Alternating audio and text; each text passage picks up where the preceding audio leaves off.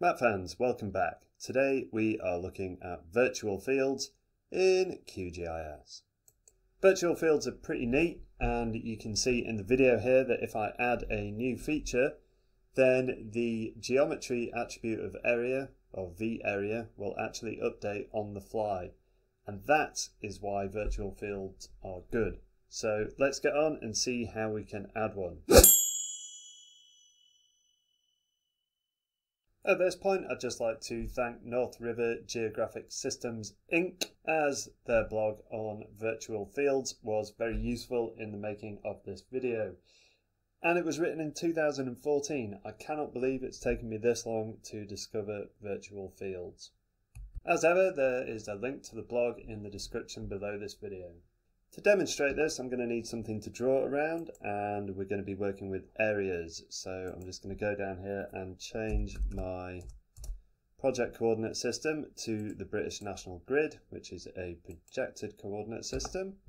Very good, and I could do with some context. So I'm going to bring in Bing Virtual Earth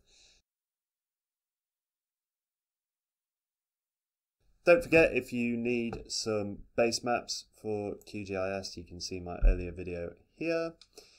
And we need a place to go. So let's go there. All right, that looks like a good place. It's a farm and it has some fields forever. So I'm going to make a new shapefile and draw around these fields. I'll just get on with that now.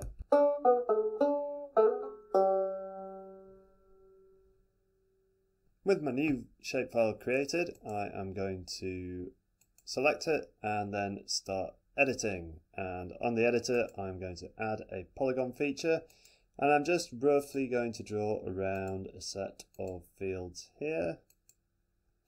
There we go, right click, ID can be 01, that is absolutely fine. And there I have a polygon.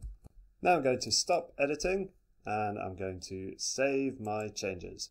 In order to find the area of the polygon I've just drawn, I'm going to open up the attribute table, so right click, open attribute table.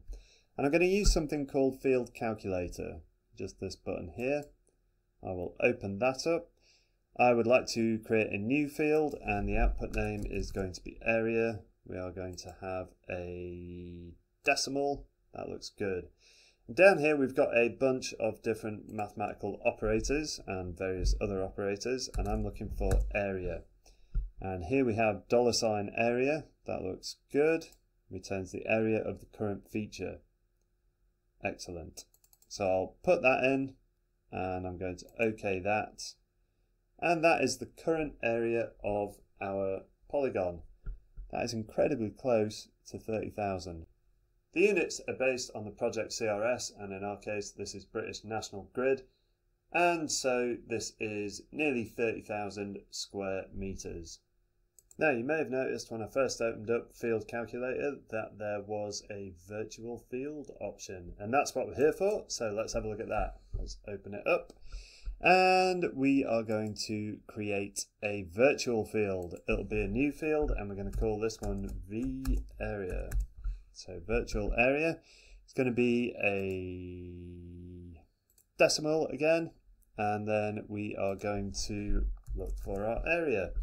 Now you can see in fields and values, it's pulled up the field that I already had that I made last time called area. And in geometry, what we really want is the area. So I'm going to put that in there. OK it. And now you can see we have a virtual field called V area. This one's rounded up, this one is not, so don't worry about that. So there's our virtual area. Now what is the point of this? What is a virtual area used for? Well, let's make some edits to our fields. So I want to incorporate these fields over to the right hand side. I am going to select Strawberry Fields.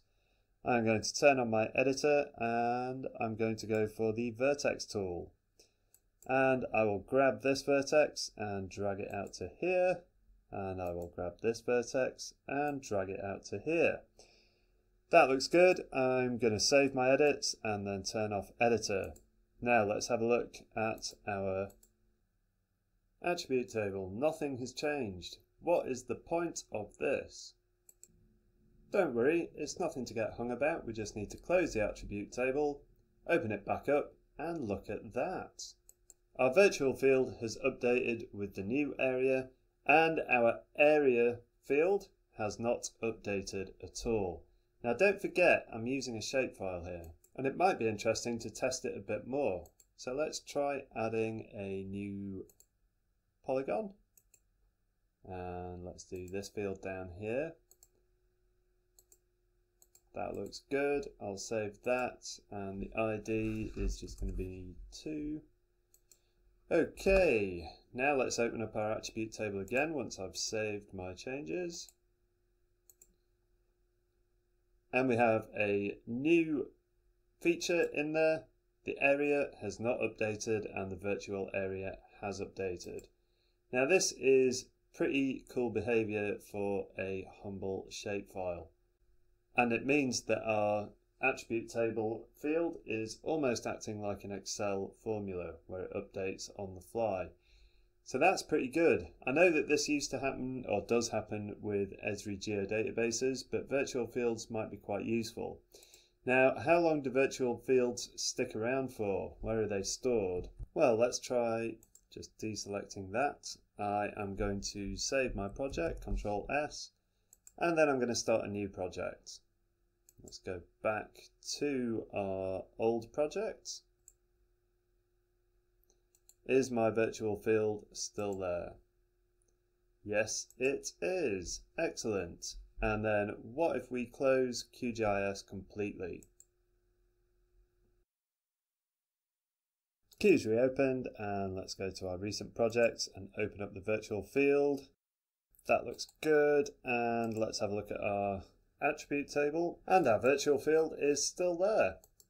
This virtual field seems pretty persistent, so let's see if we can get rid of it. And I'm just going to remove that shapefile. There it is, and add it back in. And now it's gone. Here's a question for you. I've added two new columns, A and B. And now I'm going to create a new virtual field called quiz and I'm going to look for the fields. Whoops. Fields and values. And I'm going to do a plus b. Now we'd expect this in our virtual field to add them which it has done. But what's going to happen if I change the value of a? That's for you to find out and let me know in the comments if you're looking for a beginner course in GIS, then don't forget you can check out the description of the video and we've got a beginner course right there hosted on Udemy. You can also buy me a coffee if you like. And any other form of support is much appreciated. So please keep hitting the like button, keep subscribing, although you can only do that once. And uh, don't forget, happy mapping.